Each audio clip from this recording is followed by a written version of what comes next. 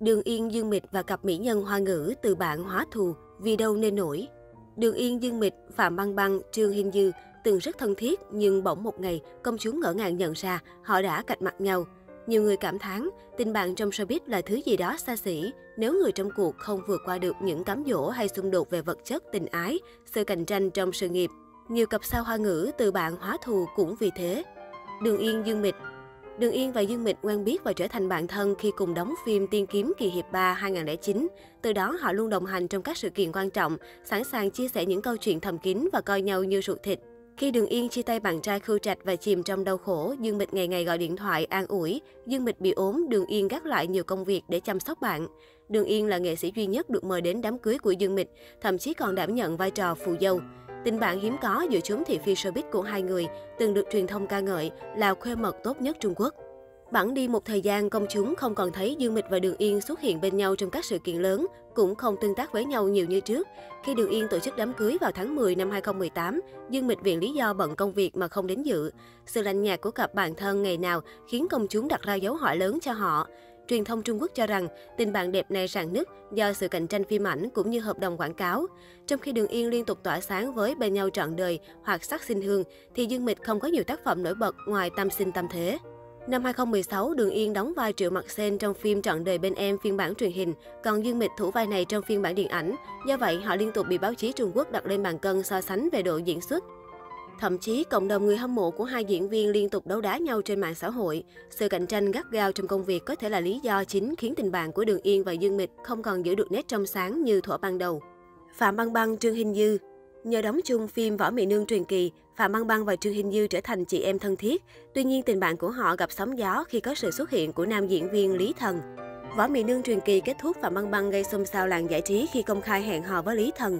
Tuy nhiên, Lý Thần lại là bạn trai cũ của Trương Hình Dư, người đang là bạn thân của Phạm Băng Băng. Khi tin tức hẹn hò nổ ra, Trương Hình Dư đã úp mở về việc Phạm Băng Băng chen chân vào mối quan hệ giữa cô với Lý Thần. Hai người đẹp liên tục có những bài viết công kích mỉa mai nhau trên mạng xã hội. Tuy nhiên, ở thời điểm đó, Trương Hình Dư không được công chúng ủng hộ bởi scandal quá khứ, lại bị Lý Thần tố ngược rằng cô ngoại tình với người khác khi đang hẹn hò với anh. Triệu Vi Châu Tấn Tình bạn của hai hoa đáng đình đám làng giải trí hoa ngữ bắt đầu khi hợp tác trong Họa Bì 2008.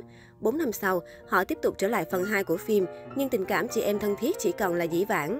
Theo lời kể của nhân viên đoàn làm phim Họa Bì 2, mỗi diễn viên được trang bị một chiếc ghế riêng. Trong lúc Châu Tấn ghi hình phân cảnh của mình, Triệu Vi ở hậu trường đá ghế của bạn diễn. Khi Châu Tấn chất vấn, Triệu Vi tỉnh bơ nói, cô không có ở đây mà cái ghế lại chắn hết lối đi của người khác, nên tôi đẩy nó sang một bên. Châu Tấn yêu cầu dựng lại ghế, nhưng Triệu Vi không nghe, gây tranh cãi lớn, buộc nhân viên đoàn làm phim phải tách mỗi người ra một góc để giảm căng thẳng. Sau đó trên phim trường Họa Bì 2, nữ diễn viên hậu cung như ý truyện sử dụng triệt để diễn viên đóng thế để tránh gặp mặt Triệu Vi.